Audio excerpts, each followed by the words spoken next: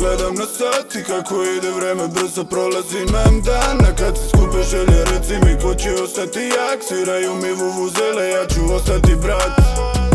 Imam naviku da gledam na sat I kako ide vreme brzo prolazi nam dan. A kad se skupe želje reci mi ko će ostati jak? Sviraju mi vuvuzele ja ću ostati brat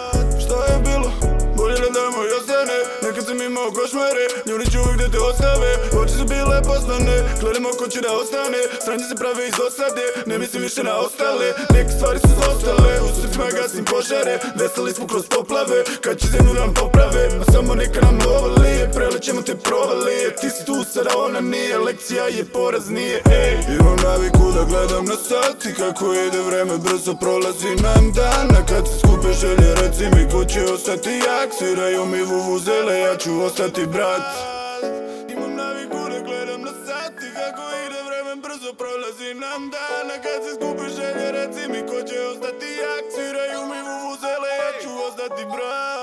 Letimo visoko U gradu su grabljivice Znaju ko smo. Zato kad prođu jave mi se.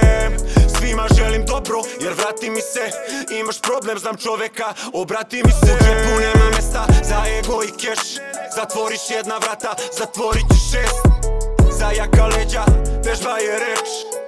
Brat za brata To formula je gledam na sat I kako ide vreme brzo prolazi nam dan. A kad se skupe želje reci mi ko će ostati jak Sviraju mi vuvuzele ja ću ostati brat. Imam naviku da gledam na sat I kako ide vreme brzo prolazi nam dan. A kad se skupe želje reci mi ko će ostati jak Sviraju mi vuvuzele ja ću ostati brat